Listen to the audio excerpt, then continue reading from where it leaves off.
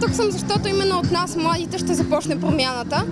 А, ние сме тези, които, ако искаме да направим нещо, имайки целият пример отвън, защото една голяма част от нас учиш в чужбина, с тези, които могат да направят нещо различно. Оставка! Оставка! Оставка! Оставка! Оставка! Държавата ни е разграбена, присвоена.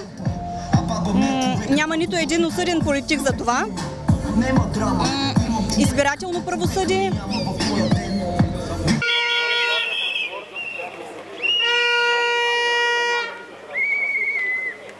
Искам промяна, незабавна, не ремонти на правителството, а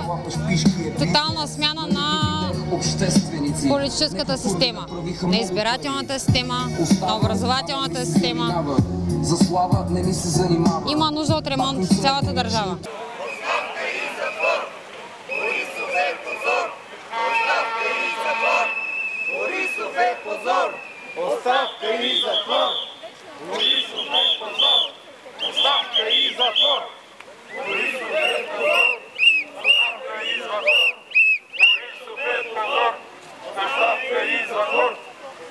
Борисов е позор! Оставка и затвор! Борисов е позор!